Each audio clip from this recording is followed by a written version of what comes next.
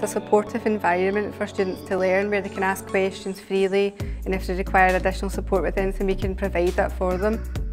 We support a wide variety of students. We have students who are dyslexic, have autism, um, any visual or hearing impairments and the support that we can offer is really catered to the individual student. It's really dependent on the student's needs.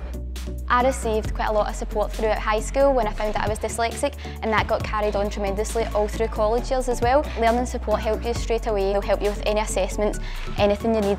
You get extra time on assessments, you get help proofreading your work. So yeah, the support in the college is amazing.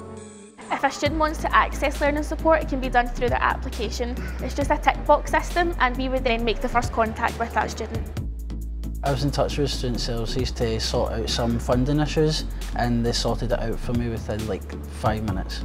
Student Services have been a real great help for me when it came to making sure I was getting into the right course, making sure I had the right funding that would support me throughout my college. They're very good to help you.